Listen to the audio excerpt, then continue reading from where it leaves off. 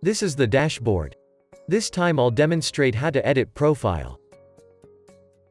On the upper right side you'll see the menu. Click this and you can see the breadcrumb. That composes of dashboard, profile, grades, and etc. Then click the profile. You will be directed to the user details.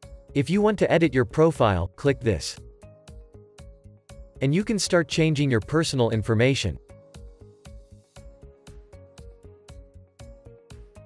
For your user picture you can take from your documents and upload it here.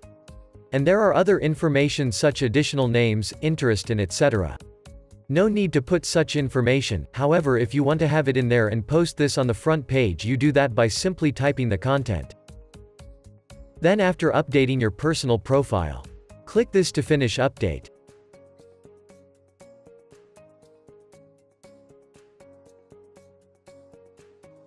Now I'll demonstrate how to receive and send messages.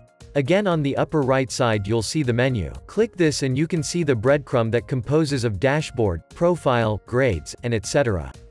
Then click this. In order to direct you in here. These are the messages that you received from your students.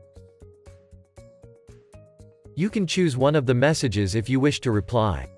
This time you can see accept and add to contacts or decline. If you want to add your student just click this. Now you can start your conversation with your student. Then click this.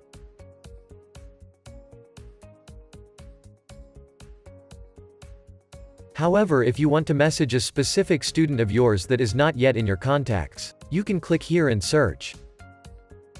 As you can see the student you are looking for is under non-contacts.